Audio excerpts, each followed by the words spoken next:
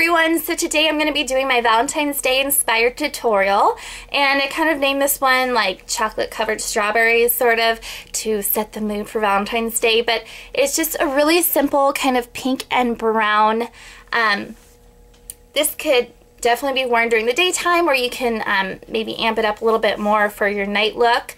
Um, so like I said, it's just pink and brown and all the products I'm using today are very affordable. You can find them at drugstores and also online at coastalscents.com. I'm going to be using my 88 Shimmer Palette by Coastal Scents. So if you have that, dust it off and get it out and um, keep watching for the tutorial.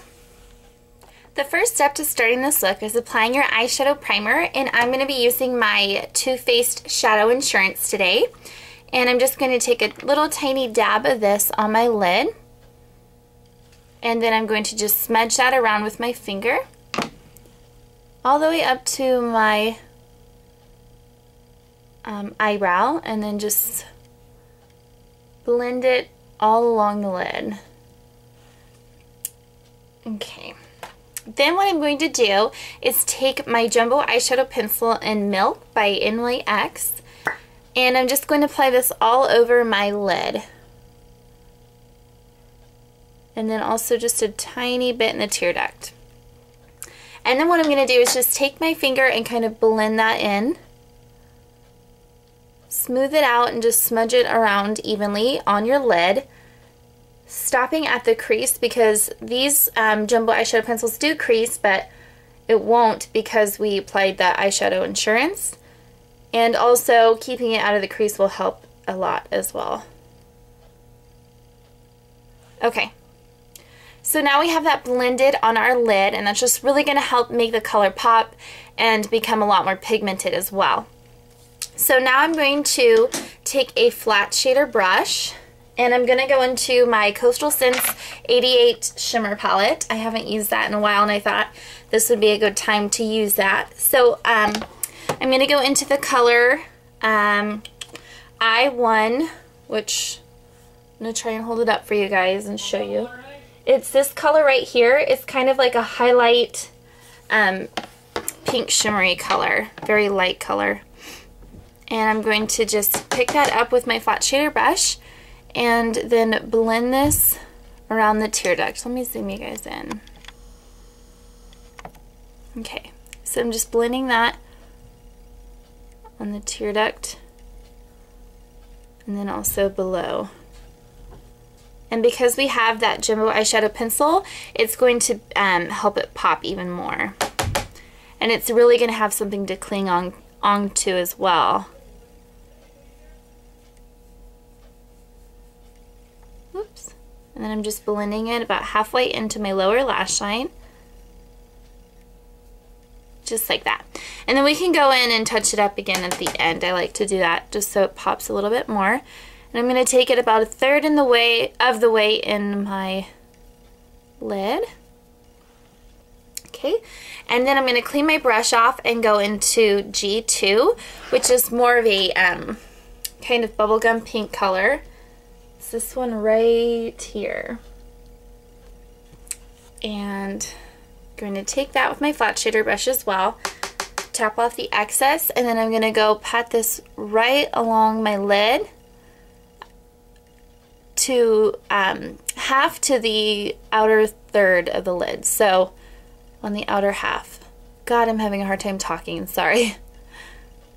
I'm just patting that, making sure that there's no fallout that way.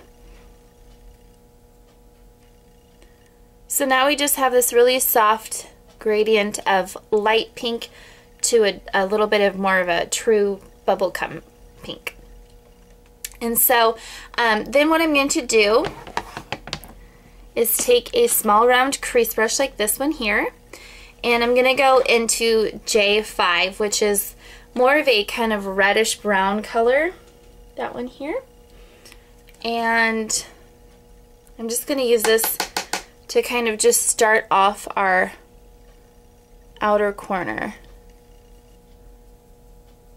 So just creating that outer corner. Again, as you can tell, it's a little bit more of a reddish toned brown. Okay, and once we've placed that color there, I'm going to then take, um, whoops, I just want to zoom out a little bit. Okay, then I'm going to take a um, fluffy crease brush and just kind of blend that color out a little bit more. Darn it. Okay. Okay, so I'm just going to blend that color.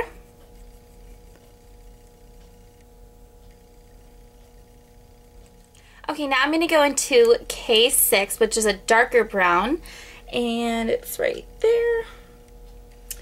And I'm just going to pick that up with a um, my e.l.f. crease brush. It's kind of like a small round crease brush.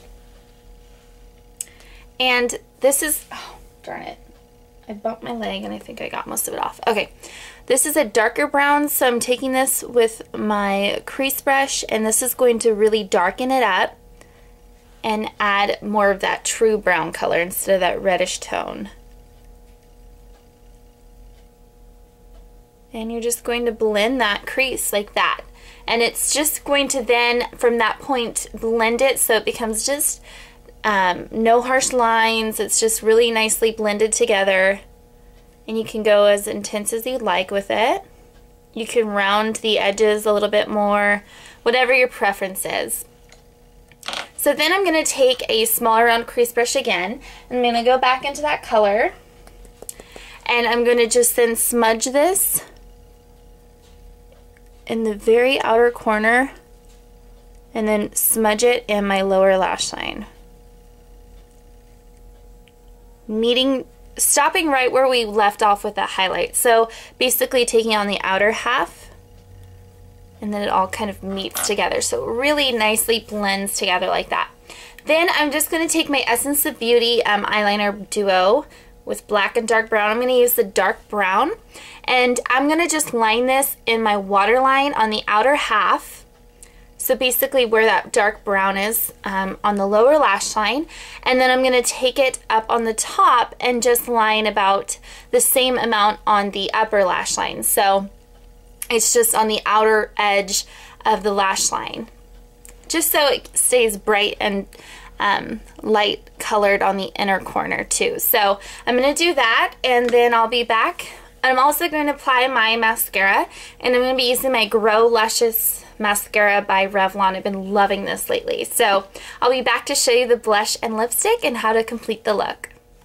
Okay, and I completely forgot to tell you guys about the highlight color, which is really easy, but just so you know, um, I used um, A1, which is the very top corner, the um, frosty white color. I just slightly blended that underneath my eyebrows. So this is the completed look for this um, kind of like chocolate strawberry, flirty, kind of pink and brown inspired Valentine's Day look. And I think it's really cute and fun and just really simple. Of course, you can wear something like this any time of the year. It doesn't have to be Valentine's Day, but it is inspired by this time of year. So for the blush and for the lips, um, what I did, well, actually I only did one side.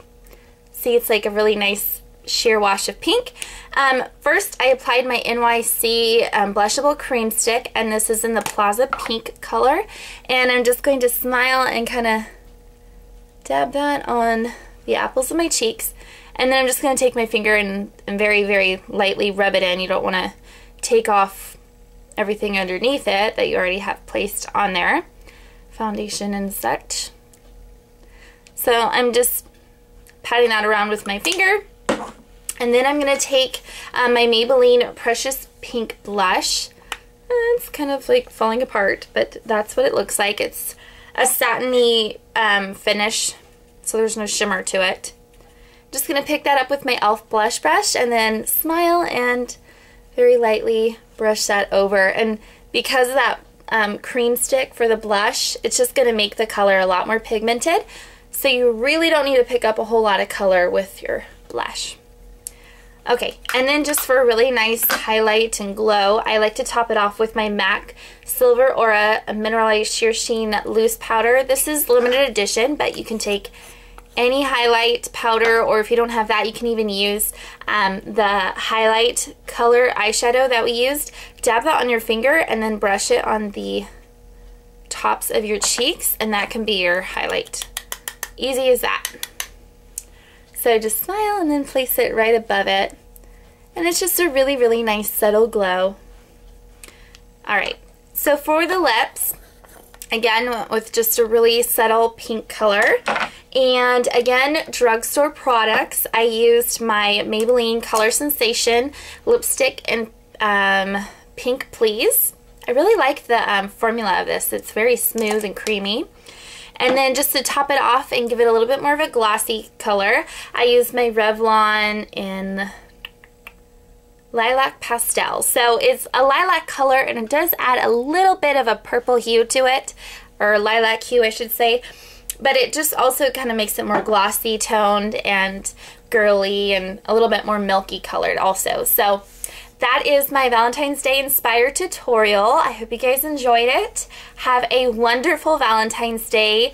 Even if you don't have a Valentine, it doesn't mean it necessarily has to be a boy um, or your girlfriend, um, but you know, you can always go out with your best friend and have a still have a fun and enjoyable Valentine's Day. So I hope you guys have a good one. Thank you so much for watching and I'll see you guys later. Bye!